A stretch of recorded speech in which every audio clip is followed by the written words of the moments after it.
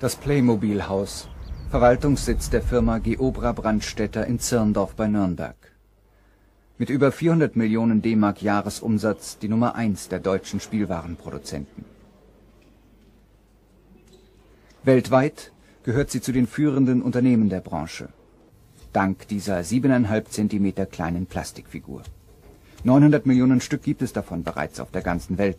Aneinandergereiht könnten sie eineinhalb Mal den Erdball umfassen. Selbst in den USA ist Playmobil ohne die üblichen TV-Werbeinvestitionen die bestverkaufte Spielzeugserie im Fachhandel.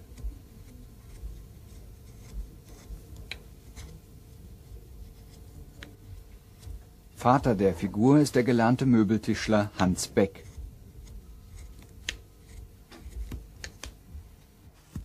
Seine ersten Ideenskizzen für die Playmobil-Figur zeichnete er 1971 neben seiner alltäglichen Arbeit in der Werkzeugabteilung bei Brandstätter. Zwei Voraussetzungen waren wichtig für den Erfolg: die Entwicklung der Spritzgusstechnik und der Wunsch der Firmenleitung nach einem Systemspielzeug.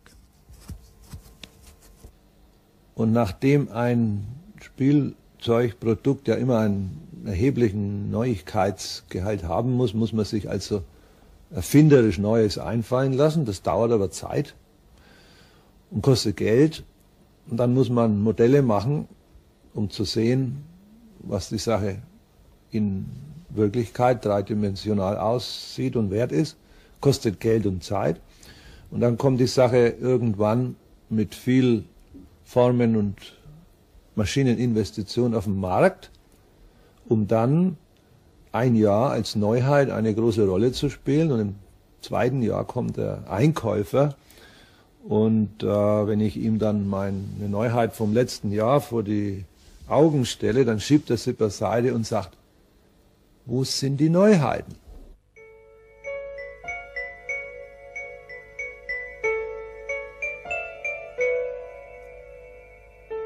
Die ersten Handmuster der Figur Hans Beck sollte eine simple Figur für die neu geplante LKW-Serie entwickeln, aber er dachte weiter und entwickelte gleich ein ganzes Spielzeugsystem, bestehend aus der immer gleichen Grundfigur mit einem neutralen Gesichtsausdruck. Nur durch die Variation der Umhänge, Kopfbedeckungen und Accessoires entstanden ständig neue Charaktere.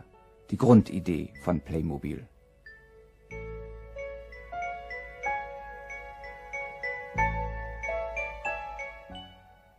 Und dann zeigt er mir eine Figur, das war dann schon Kunststoff, allerdings handgeschnitzt. Ja, sage ich. Und äh, ja, eine Figur, hm, ganz schön, aber hat mich auch nicht überzeugt. Ja, hat er gesagt, aber die Figur, die ist ja nicht wichtig. Schauen Sie, die kann ja das in die Hand nehmen, den Hammer und das Werkzeug. Ja, ja und eine Schubkarre kann es auch in die Hand nehmen. Na, dann hat mir das schon besser gefallen. Herr Brandstätter, darf ich da weiter dran arbeiten? Das muss die ganze Welt einmal werden. Nachdem ich wusste, dass der Herr Beck äh, oder gelernt hatte, dass wenn er was will, dass, er, dass das Hand und Fuß hat, und ich war nicht überzeugt, muss ich sagen. Ich habe eigentlich das mehr gesehen von, wir bringen ein Haus, eine Tankstelle und irgendwo als Nebensache sind da ein paar Figürchen. So habe ich die Lösung gesehen. Nach drei Jahren war Becks Idee auch technisch ausgereift. Dank der Ölkrise stieg der Bedarf an rohstoffarmen Produkten. Die Figur fand einen ersten holländischen Großabnehmer auf der Nürnberger Spielwarenmesse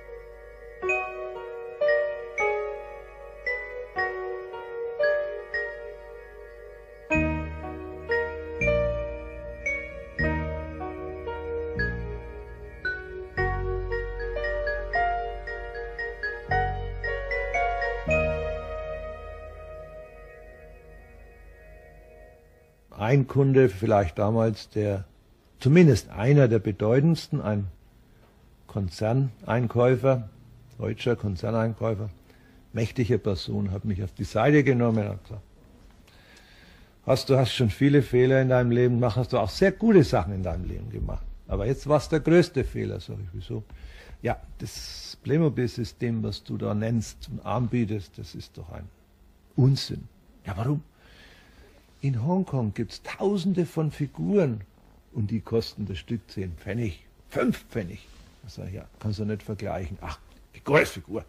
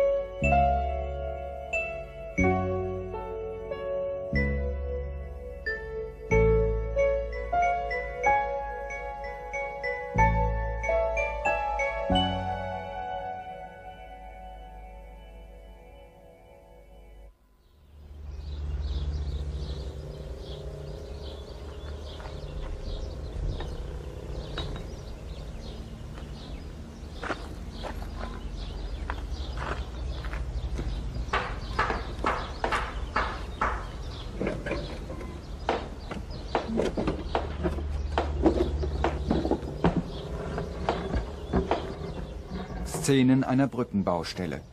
Nach rund 20 Jahren ist aus dem einfachen Spielzeugsystem eine grenzenlos ausbaufähige Playmobil-Welt geworden.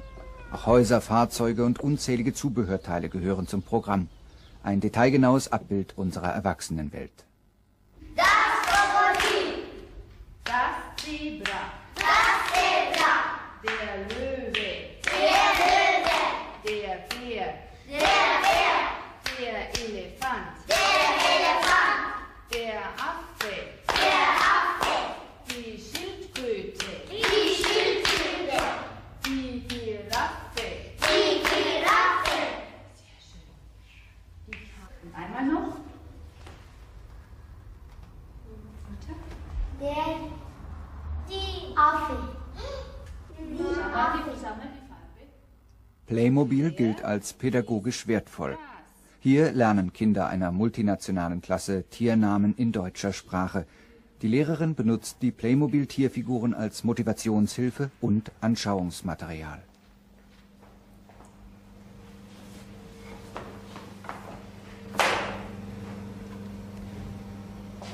Lesen. Das Ist die Schildkröte. gut.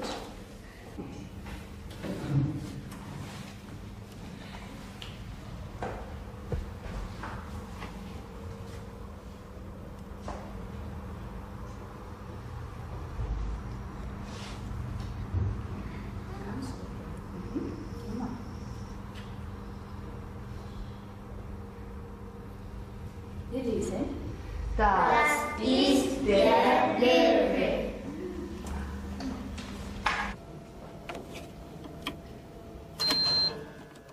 Hinter gesicherten Türen, abgeschirmt von der Konkurrenz, liegt die Entwicklungsabteilung von Playmobil. Circa 50 Designer, Grafiker und Konstrukteure arbeiten hier unter der Leitung von Hans Beck. Auch wir dürfen keine Neuheiten drehen. Sie werden erst auf der nächsten Spielwarenmesse der Öffentlichkeit präsentiert.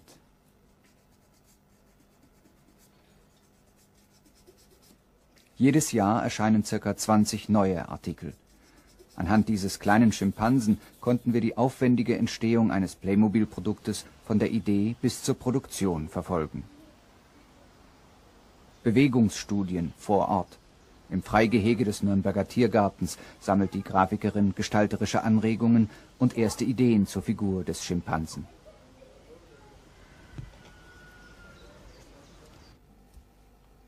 In der Grafikabteilung werden Größe und Farbe der Figur festgelegt, damit sie sich problemlos in die bestehende Playmobil-Welt einfügt. einfache Bewegungsfunktionen, die der Schimpanse ausführen soll, und auch die Spielaccessoires werden festgelegt.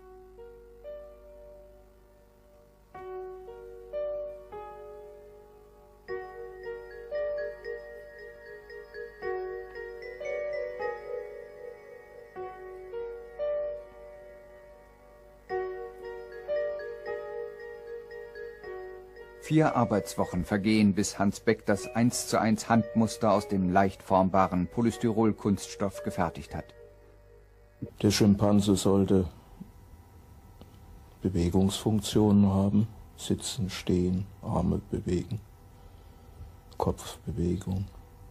Und im Vordergrund aller Überlegungen stand die Möglichkeit, den Schimpansen in einem komplizierten Werkzeug so zu fertigen, dass er aus der Maschine fällt und fix und fertig montiert ist, ohne dass man ihn noch zusätzlich anfassen muss.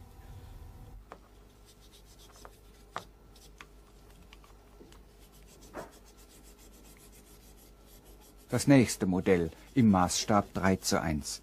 Details können besser ausgearbeitet werden und es hat den Vorteil, dass kleine Fehler und Unebenheiten in der späteren Verkleinerung nicht mehr auffallen.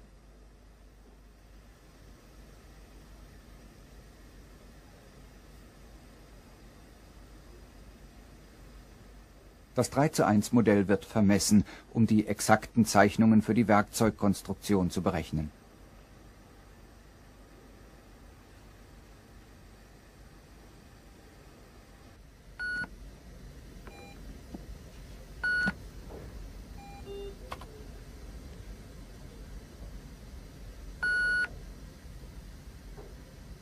Alle Daten werden in einem Rechner gespeichert und in die Konstruktionszeichnung eingefügt.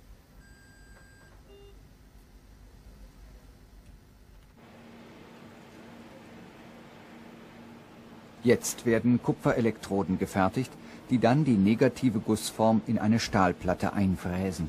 Strom springt von der Elektrode auf den Stahl über. Bei bis zu 10.000 Grad Hitze werden die Partikel regelrecht aus dem Stahl gesprengt.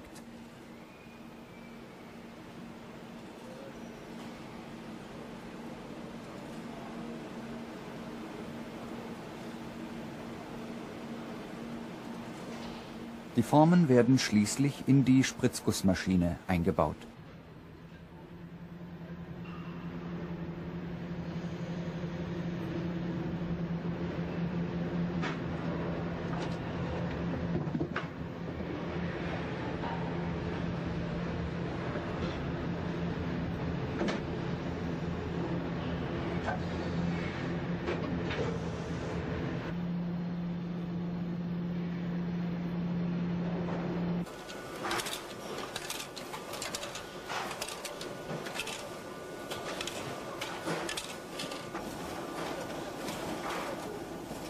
Der fertige Schimpanse kann in jede Spielwelt von Playmobil eingefügt werden, wie hier zu den Piraten der Schatzinsel.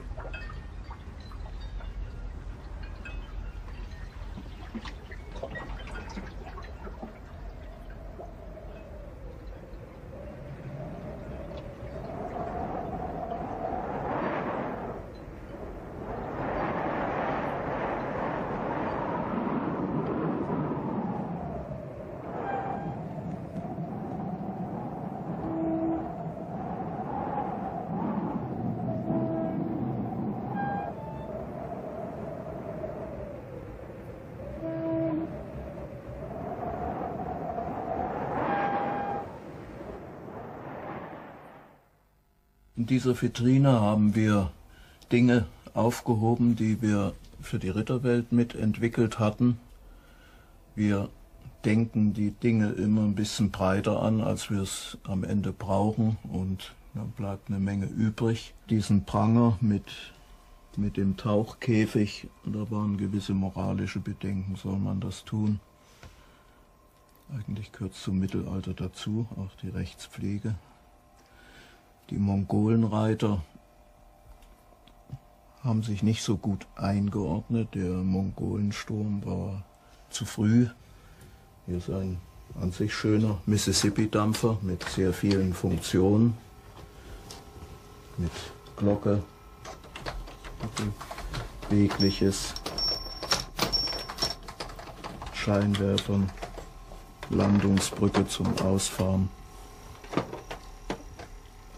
Salon. Im Salon ist sogar ein Klavier und ich glaube auch Falschspieler sitzen drin.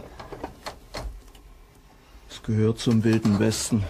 Mark Twain hat diesen Schiffen ein literarisches Denkmal gesetzt, aber wir konnten uns nicht entschließen, das in die Produktion zu bringen. Die Formkosten sind zu hoch und wir müssen dann damit rechnen, dass die Sache sich nicht amortisiert. Liebe Leute von Playmobil, ich bin ein großer Playmobil-Fan und sehe in jeder freien Minute meine Playmobil-Prospekte an. Ich möchte gerne meine Ideen zum Thema Wilder Westen einbringen. Ihr Hans Tunger. Sehr geehrter Herr Playmobil, ich bekam vor einiger Zeit die Feuerwehr von Playmobil zum Geburtstag geschenkt. Da ich mich sehr stark für das Thema interessiere, ist mir etwas sehr Wichtiges aufgefallen. Es ist wirklich alles dabei, wie zum Beispiel Schläuche, Helme und so weiter, aber etwas ganz Wichtiges fehlt, der Atemschutz. Ihr treuer Playmobil-Fan Steffen Simon.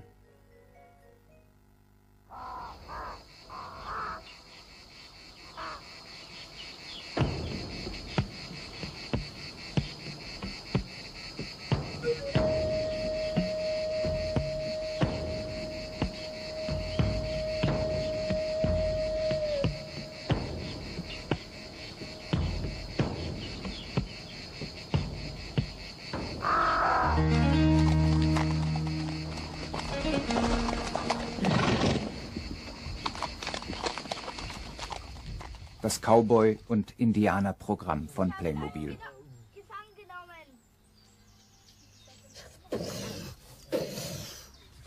Du bist schon länger tot, ey. Brauchst du ein paar ja! Unterstützung? Mach. Ey, da, ich bin doch schon tot. ey, der Marco muss ich irgendwann mal zurückziehen, oder? Ich zieh mich gleich zurück. Neben halt gefangen wird. Ja!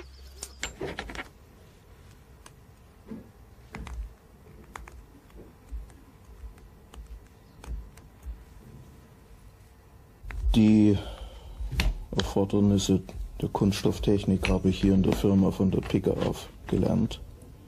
Ich stand auch selbst schon an Verarbeitungsmaschinen, habe hautnah den Werkzeugbau miterlebt und zur anderen Seite, zu den kindlichen Bedürfnissen, ich bin der älteste von sieben Geschwistern, bin in der Kriegszeit aufgewachsen, als es kein Spielzeug zu kaufen gab und ich habe für meine jüngeren Geschwister häufig Spielzeuge gemacht und dann auch erlebt, was sie damit angefangen haben.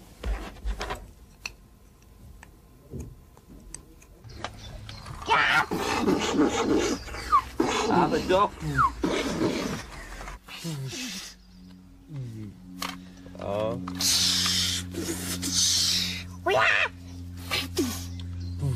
Wenn ich hinter den Stein bin. Dusch, dusch, dusch. Das wird ein Vormodell für einen Feuerwehrhelm.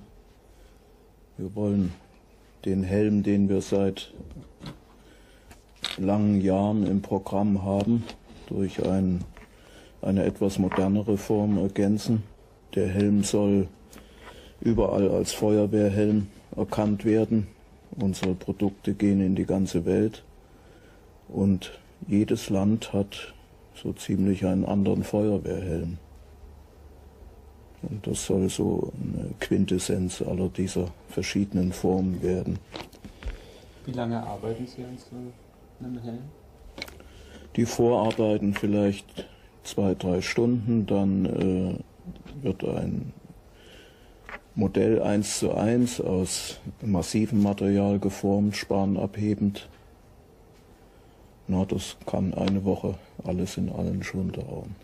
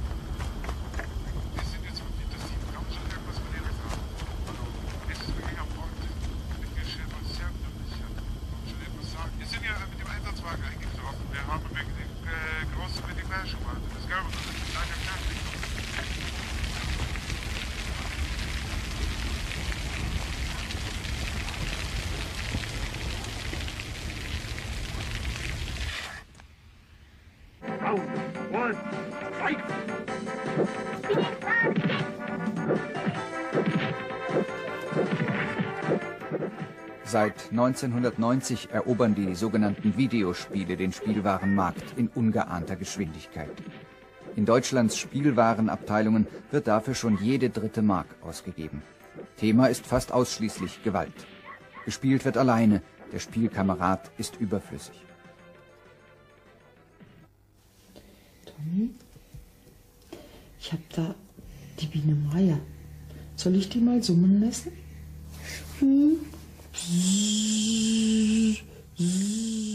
In einer Welt isolierter Lebensbereiche hat das Spielen eine wichtige Bedeutung für die Kinder. Im Spiel lernen sie Realität kennen, die Erwachsenenwelt. Spielen hat auch eine wichtige psychologische Funktion. Das Kind kann Ängste und Probleme spielerisch verarbeiten. Ich sehe es gern, wenn Kinder mit dem Produkt Playmobil völlig frei spielen, dass sie damit agieren, dass sie eigene Ideen verwirklichen, dass sie in direkten Kontakt mit dem Mitspieler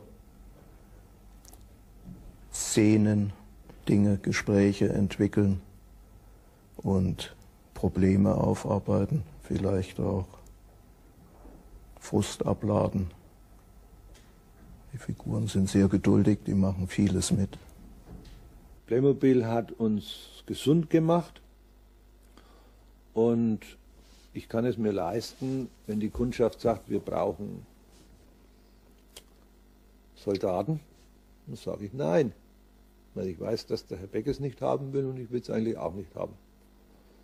Und wenn die Kunden sagen, wir müssen Weltraum haben und fiktive und wir müssen äh, Science Fiction, dann sagt Herr Beck, aber Science Fiction besteht aus Zerstörung. Alles wird mit Laserstrahlen in nichts aufgelöst und da kann man zwar sicher Spielzeug machen, aber das wollen wir lieber nicht machen. Diese Playmobil-Figur ist für mich kein aggressiver Typ, ist zurückhaltend, muss interpretiert werden und ich bin auch nicht dafür, Gewalt darzustellen oder zu verherrlichen.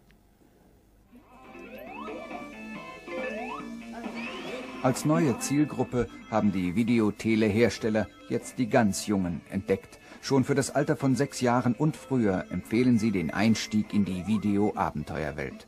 In Zukunft sollen sich Kinder mit elektronischen Leitfiguren identifizieren, mit Sonic oder Super Mario, hier auf der Suche nach der verschwundenen Prinzessin.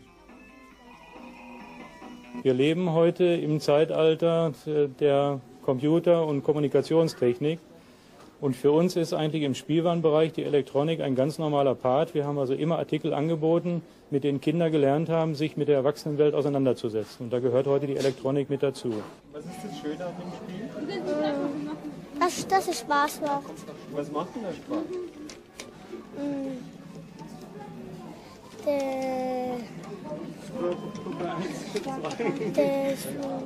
die Grafik zu sehen und dann noch so die anderen Welten noch sehen, wo man noch nicht kennt.